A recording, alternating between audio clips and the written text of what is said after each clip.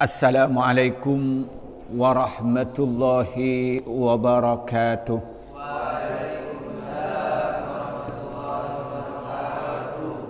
Alhamdulillahi rabbil alamin. Wassalatu wassalamu ala asrafil anbiya'i wal mursalin amma ba'du. Para santri yang saya hormati, marilah kita bersyukur pada Allah Subhanahu wa taala yang telah memberikan bermacam-macam nikmat terutama nikmat sehat dan diselamatkan dari segala musibah. Kedua kalinya rahmat dan salam semoga dicurahkan pada Nabi Muhammad sallallahu alaihi wasallam.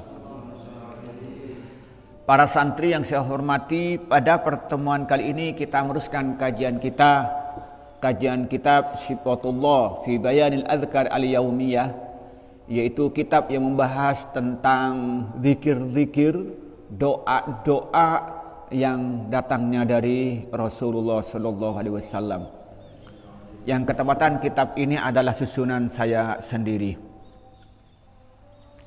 Pada pertemuan kali ini kita akan bahas tentang doa yang dibaca bagi orang yang duduk di sebuah perkumpulan, doa untuk dirinya dan untuk orang-orang yang ada di sekitarnya. Yaitu halaman 20. Bismillahirrahmanirrahim. Babu doa il jalisi fi jam'in li nafsihi wa man ma'ahu. Babu doa il jalisi ay hadha babu doa il jalisi adapun ini adalah doanya orang yang duduk fi jam'in di dalam perkumpulan doa linapsihi untuk dirinya orang yang duduk waman dan orang mahu yang berserta عن ابن عمر رضي الله عنهما قال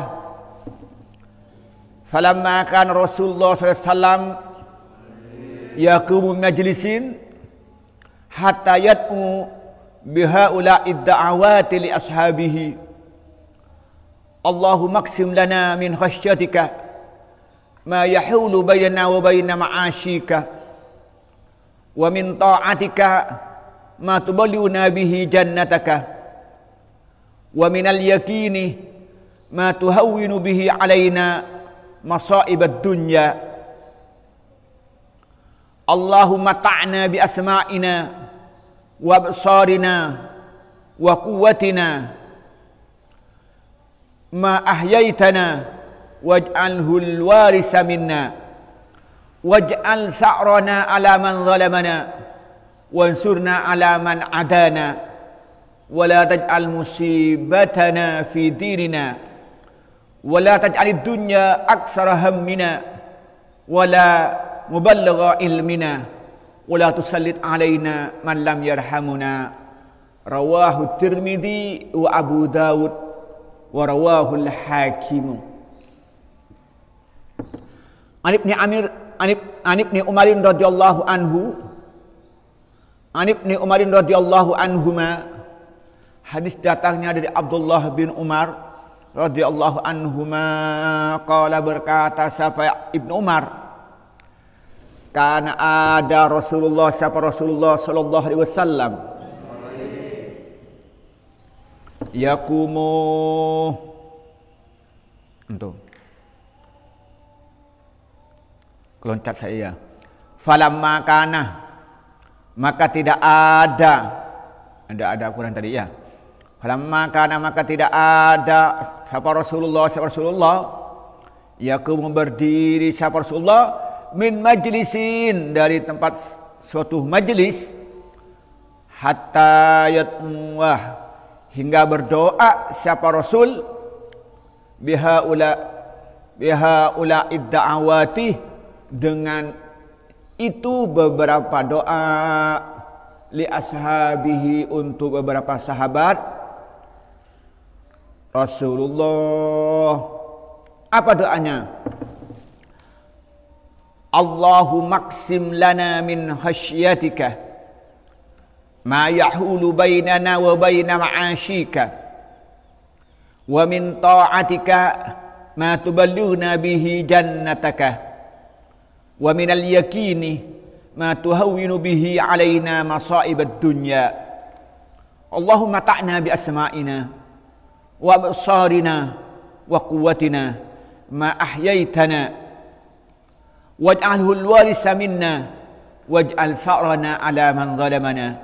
وانصرنا على من عدانا. ولا تجعل مصيبتنا في ديننا. ولا تجعل الدنيا أكثر همنا. ولا مبلغ علمنا. ولا تسلط علينا من لم يرحمنا. رواه meriwayatkanhu pada hadis At-Tirmidzi siapa Imam At-Tirmidzi wa Abu Daud Imam Abu Daud wal Hakim dan Imam Hakim. Allahumma ya Allah Iksim berikanlah Iksim semoga memberi engkau Lana kepada kami. Min khasyatikah dari takut kepadamu Ma kepada takut. Yahulu yang menghalangi apa ma? Bainana antara kita Wa baina ma'asikah Dan antara bermaksiat kepadamu. Wa min ta'atika dan berikanlah kami taat kepadamu. Ma kepada ketaatan. Tuballighuna yang menyampaikan apa ketaatan. Nah kepada kami tuballighuna keliru saya. Tuballighuna yang menyampaikan engkau. Nah kepada kami bihi dengan emak jannataka pada sorgamu. Wa minal yakini dan dari keyakinan. Ma kepada keyakinan tuhawinu yang menjadikan ringan engkau. Bihi dengan emma alaina kepada kita masa ibad dunya pada beberapa musibah kehidupan beberapa kesulitan dunia. Allahumma ya Allah mata'na. Semoga memberikan kenikmatan kepada kami memberikan kesenangan kepada kami. Bi asma'ina dengan beberapa pendengaran kami. Wa absarina dan beberapa penglihatan kami wa quwwatina dan kuatan kami. Ma pada suatu ahyaitana yang menghidupkan engkau na kepada kami. Waj'al semoga jadikan engkau hu kepada satu ma ahyaitana alwarisah pada pewaris minna dari kami. Waj'al semoga menjadikan engkau sakrona pada balasan kami alaman kepada orang. Zalamana yang zalim siapa orangnya kepada kami? Wansur semoga membantu engkau nah kepada kami. Alaman atas orang. Adana yang memusuhi siapa orang na kepada kami. Wala taj'al dan semoga tidak menjadikan engkau musibatana pada musibah kami fi dinina ing dalam agama kami wala taj'al semoga tidak menjadikan engkau ad-dunya pada dunia akbar hammina pada paling besarnya cita-cita kami. Wala mablagh ilminah dan bukan bat paling tinggi ilmu kami. Tujuan akhir dari ilmu kami. Wala tusallit semoga tidak menguasakan engkau alaina kepada kami menguasakan kepada orang la yarhamuna yang tidak menyayangi siapa orang na kepada kami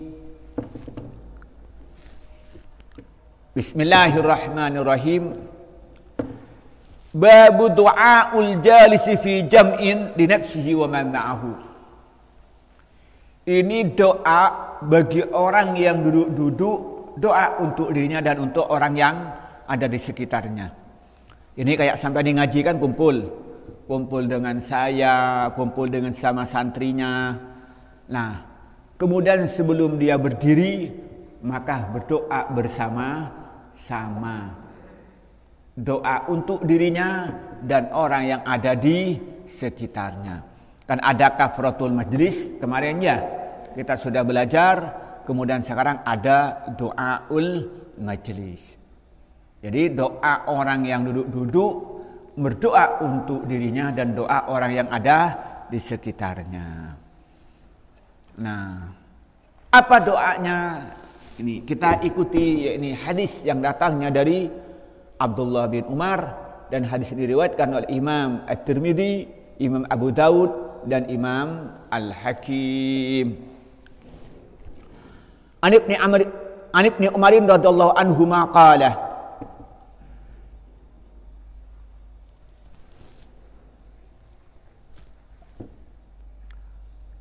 Qallama kana bukan falamma ya, qallama ya.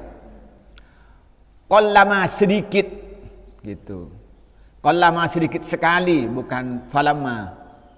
Qallama sedikit sekali kan Rasulullah SAW Rasulullah SAW yakumuh berdiri min majlisin dari majlis hatta yatwah sehingga berdoa bihaula da'awati dengan semua doa ali ashabi untuk sahabat Nabi. Jarang Rasulullah itu berdiri dari tempat duduknya sehingga dia itu berdoa untuk sahabatnya. Artinya kalau balik Rasulullah itu sering membaca doa ini sebelum dia itu berdiri. Artinya apa? Rasulullah itu jarang sekali dia itu berdiri kalau belum membaca doa doa untuk sahabatnya. Kalau terjemah bahasa kita apa? Rasulullah itu selalu membacakan doa-doa untuk sahabatnya ketika dia duduk bersama-sama. Dan Rasulullah tidak berdiri dari tempat duduk ini sebelum mendoakan sahabatnya. Apa doa yang diajarkan kepada kita? Coba baca. Allahumma qsim lana min khasyiatika ma yahulu bainana wa baina ma'asyika Ya Allah berikanlah kami rasa takut kepadamu ya Allah. Yang mana rasa takut dapat menghalangi kami dari berbuat maksiat kepada engkau. Enak enggak kira-kira Sampean takut kepada murka Allah, takut terhadap azab Allah, yang rasa takutnya kepada Allah itu membuat dirinya itu tidak berbuat maksiat. Ketika kita tahu bahwa Allah Maha tahu apa yang kita lakukan dan tahu bahwa kalau orang ngerasani itu nanti lidahnya dipotong kembali dipotong lagi, perasaan takut ini tidak ngerasani orang lain. Kenapa? Itu oleh Allah diberikan rasa takut yang dapat menghalangi dari berbuat maksiat. Dia tahu bahwa orang yang mencuri, orang yang korupsi, nanti dia akan dipotong tangannya, kembali dipotong tangannya lagi. Perasaan takut semacam itu membuat dirinya takut untuk korupsi, takut berbuat maksiat. Dia tahu nanti kalau orang yang suka ngintip cewek, matanya ditusuk kembali lagi, tusuk kembali lagi. Perasaan takut kepada Allah Subhanahu wa taala itu dia membuat dirinya takut bermaksiat melihat wanita yang bukan mahramnya. Iya Pak ya? Dia tahu bahwa kalau nanti salaman, kata Rasulullah, orang kalau tahu dosa orang salaman yang dengan bukan muhrimnya, dengan yang lain jenis, laki-laki dengan perempuan atau perempuan dengan laki-laki maka dia lebih berani kalau megang bara api. Saking beratnya siksaan di perasaan takut kepada Allah itu membuat dirinya itu tidak mau berbuat maksiat. Hebat kan rasa takutnya? Ada nggak kira-kira di sini? Ketakutan kepada Allah yang membuat dirinya tidak berbuat maksiat. Tahu bahwa nanti orang yang buka aurat disiksa oleh Allah di neraka, dipanggang. Kemudian dia itu disiksa, perasaan takut kepada Allah, azab yang akan menimpa pada dirinya membuat dirinya itu atau menghalangi dirinya berbuat maksiat. Amin ya rabbal. Ini doa Rasulullah mendoakan sahabatnya. Doa yang kedua? Wa min ta'atika ma tuballighuna bihi jannataka. Doa berikutnya apa katanya? Dan berilah kami ini taat kepadamu ya Allah yang membuat engkau menjadikan kami masuk surga, membuat kami sampai masuk ke dalam surga. Jadi minta kepada Allah, Allah memberikan kepada kita ini bisa taat, bisa ibadah kepada Allah. Kata-kata taat itu baik itu sifatnya ibadah mahdoh atau ghairu mahdoh. Artinya ketaatan sholatnya tertib, jamaahnya tertib, tahajudnya tertib, duhanya tertib, kemudian qabliyah ba'diyahnya tertib, bagus, zikirnya bagus, baca Qur'annya bagus.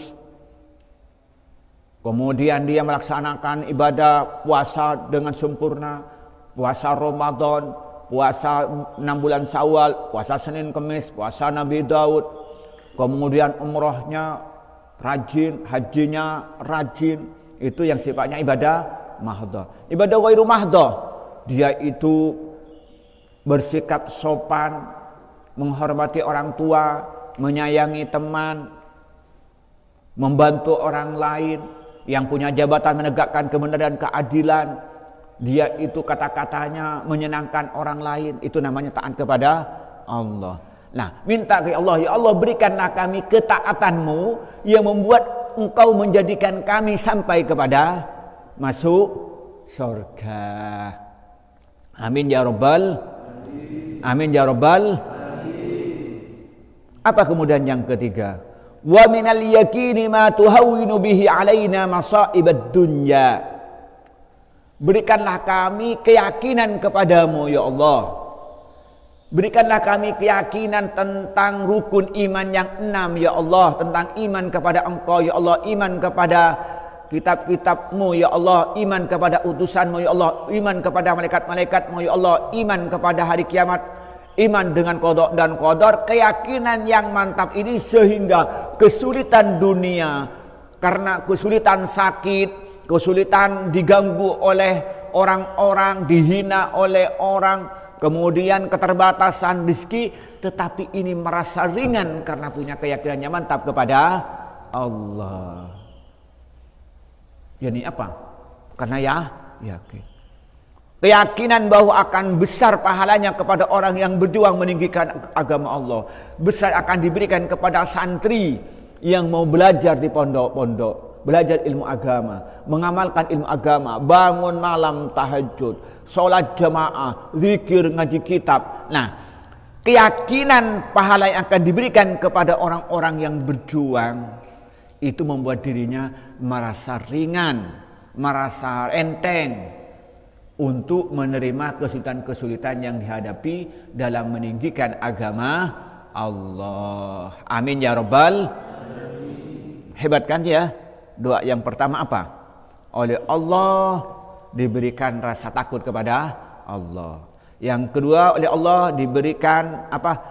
Yang rasa takut itu membuat dirinya terhindar dari perbuatan maksiat. Itu yang pertama. Yang kedua oleh Allah diberikan ketaatan kepada Allah yang membuat dirinya masuk surga. Kemudian yang ketiga itu apa?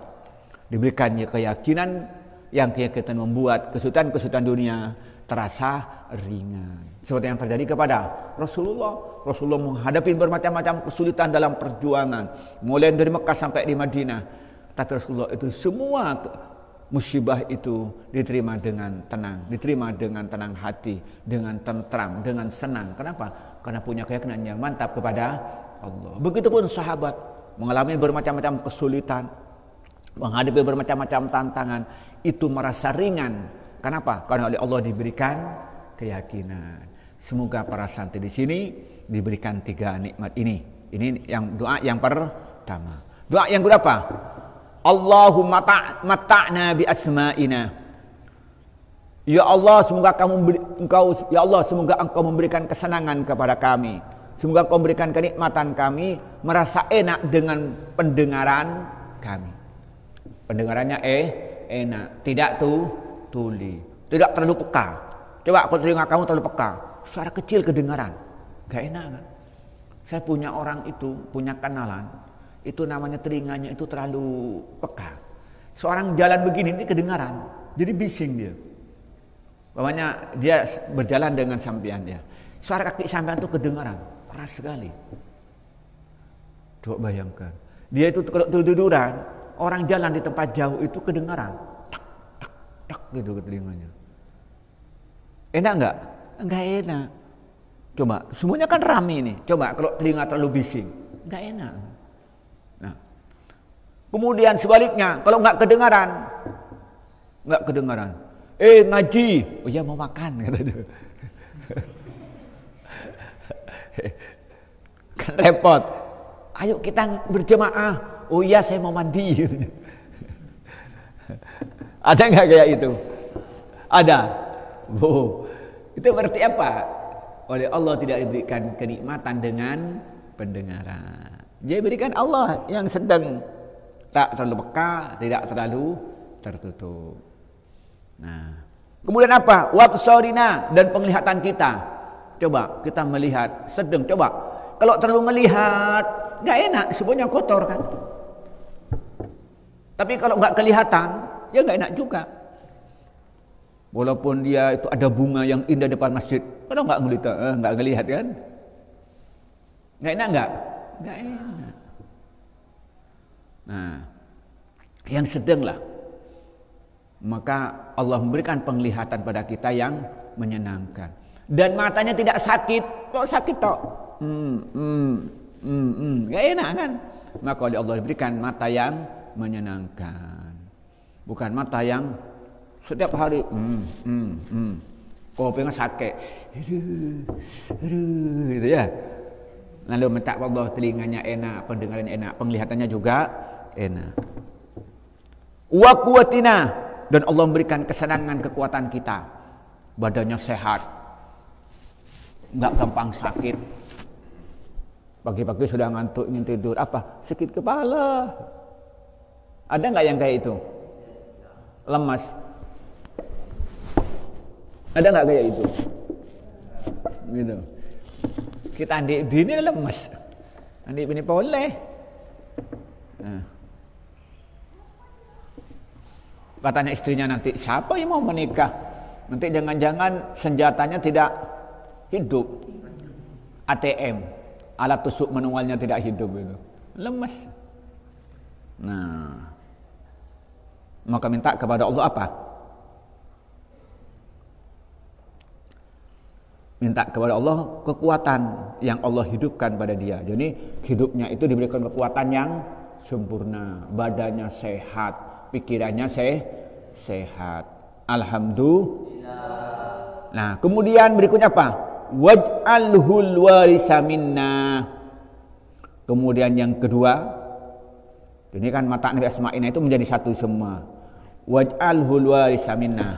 Dan minta kepada Allah, dia mempunyai penerus perjuangan dari keluarganya sendiri sendiri. Jadi kalau sampean ini nanti sudah tua punya anak yang pintar, cerdas, kaya, bisa meneruskan perjuangan sampean. Alhamdulillah. Jadi doa punya anak yang bisa meneruskan perjuangan, bukan anak yang kesit apa? Sakit, nistangisin kayak sakit. Anak sakit, bapak anak tua. Aduh, naudzubillah. Maka minta pada Allah anaknya saya sehat, anaknya pin pintar, anaknya kaya, anaknya punya kedudukan, bisa meneruskan perjuangan. Amin ya robbal. Kemudian yang ke tiga apa? Waj'al sa'rana ala man zalamana. Ya Allah, berikanlah balasan orang yang suka zalim kepada kami. Wah, ngeri kan? Dia minta kepada Allah, orang yang zalim pada dia oleh Allah diberikan balasan yang setimpal. Nah, gak usah sampian yang balas cukup Allah yang memberikan balasan. Yang suka menghina dirinya hina sendiri. Yang suka memfitnah dirinya difitnah oleh orang lain. Nah, itu sudah minta kepada Allah, maka hati-hati. Kalau sempat baca doa ini, kalau ada orang yang menghina, maka Allah yang bikin dia hina. Kalau ada orang yang mengadu domba, Allah nanti menjadikan dia adu domba oleh orang lain. Itu yang ketiga. Yang keempat apa? Wansurna alaman adana. Adana. Ya Allah, bantulah kami untuk mengalahkan orang yang memusuhi kami. artinya musuhi umat Islam, musuhi agama Islam. Sudah Allah yang membantu. Kalau dibantu oleh Allah, siapa yang bisa melawannya? Karena apa? Allah zat yang mempunyai sifat yang maha sempurna. Al-Qawi, Al-Matin. Siapa itu? Allah. Ya Qawi ya Matun. Fansurna alal qaumil zalimin. Kemudian yang ke berapa ini? Yang kelima ya. Wala taj'al musibatana fi dinina. Dan semoga tidak menjadikan musibah di agama kami. Artinya apa? Minta kepada Allah jangan sampai dirinya itu masalah agamanya itu bermasalah. Ada fitnah, solat males. Itu berarti musibah dalam masalah agama. Mau puasa malas. Itu namanya musibah dalam masalah agama. Banyak berbuat maksiat, suka pacaran, suka mencuri, suka berzina, itu namanya musibah di dalam masalah agama. Suka korupsi, namanya apa? Musibah dalam masalah agama. Minta kepada Allah semoga tidak dijadikan musibah menimpa pada agamanya. Kemudian yang kenapa? Wala taj'alid dunya akrahamina wala mablaw ilmina dan minta jangan sampai dunia itu menjadi tujuan yang tertinggi atau menjadi tujuan daripada ilmu yang dimilikinya. Jangan cita-citanya ingin menjadi kekaya, orang yang kaya. Cita-citanya punya jabatan yang tinggi. Cita-citanya punya istri yang cantik. Tapi cita-cita yang tertinggi apa? Mendapatkan ridho dari Allah. Nah ketepatan kaya, Alhamdulillah Ketepatan istrinya cantik, alhamdulillah. Ketepatan punya jabatan yang tinggi, alhamdulillah. Tapi cita-cita yang tertinggi adalah mendapat ridho Allah, bukan dunia, bukan harta, bukan jabatan, bukan wanita. Bagi laki-laki, bagi perempuan bukan suami, tetapi kalau diberikan semua yang tiga itu adalah karunia Allah yang wajib disyukuri. Alhamdulillah. Dan ketika mencari ilmu kayak sampean ngaji ini jangan sampai tujuan akhir hanya untuk mendapatkan kenikmatan dunia. Tapi tujuan tertinggi apa? Mendapat ridho Allah. Maka karena itu tujuan terakhir apa?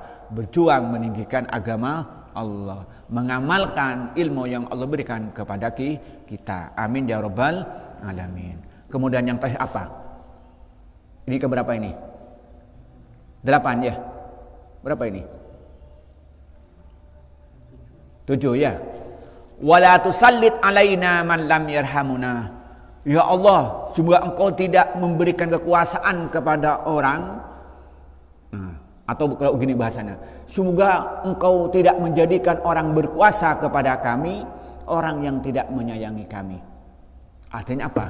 Jangan sampai diberikan pemimpin-pemimpin yang tidak menyayangi kami.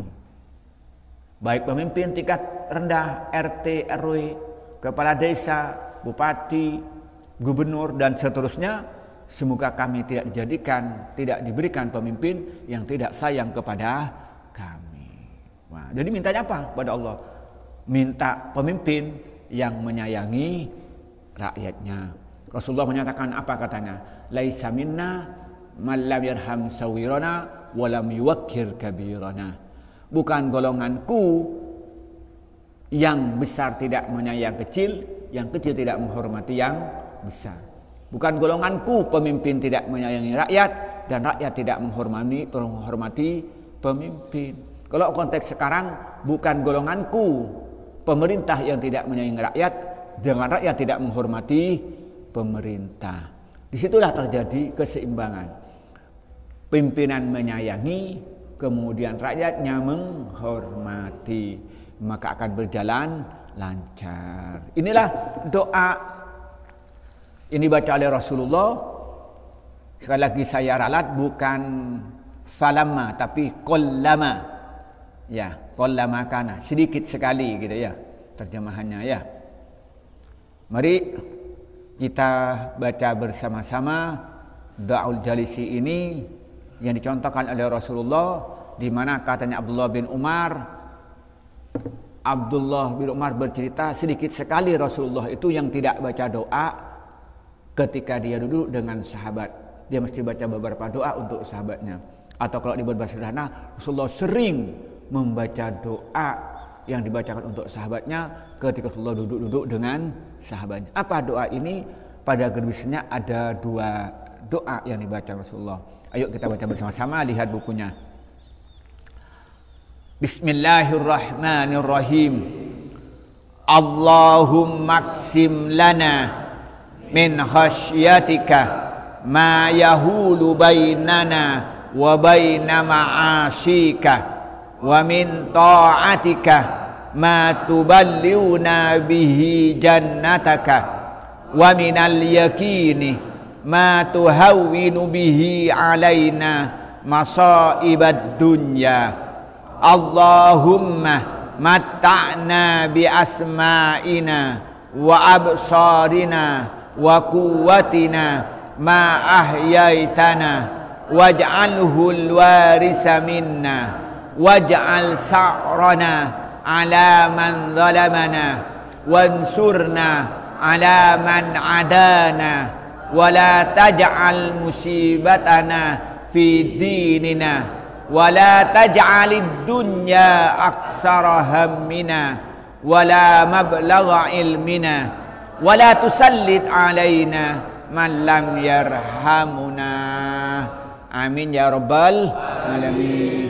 Inilah yang bisa kita sampaikan dan kita baca pada pagi ini. Semoga bermanfaat pada kita semua. Semoga kita bisa mengamalkan doa-doa yang kita baca. Nah, ini sudah kita hatam tentang doa-doa apa tentang zikir-zikir ya. Maka nanti kita akan meneruskan ini bab yang terakhir agak panjang cuman akan dibaca satu persatu tentang doa. Bab namanya kitab da'awat tentang doa-doa yang seharusnya kita baca ketika kita selesai sholat, doa ketika ada momen-momen secara bebas ini banyak doa. Nah, ini Nanti mungkin saya baca satu persatu, yakni setiap satu hadis, satu pertemuan, satu hadis, satu pertemuan.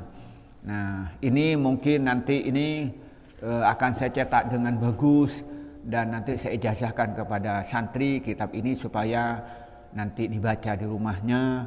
Siapa yang sudah tahu isinya gitu ya tentang manfaatnya sudah tahu hadisnya hadis sahih kalau ketepatan hadis ini tidak mendapatkan saya yang sahih yang doib tapi dijelaskan tentang kadarnya hadisnya itu. Artinya apa?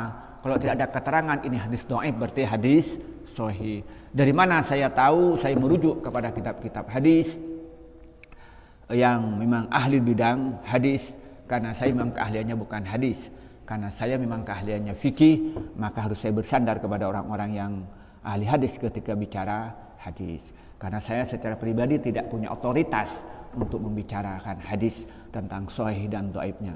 Tapi saya bisa punya otoritas bidang masalah-masalah fikih.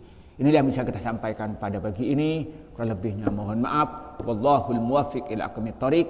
Wassalamualaikum warahmatullahi wabarakatuh.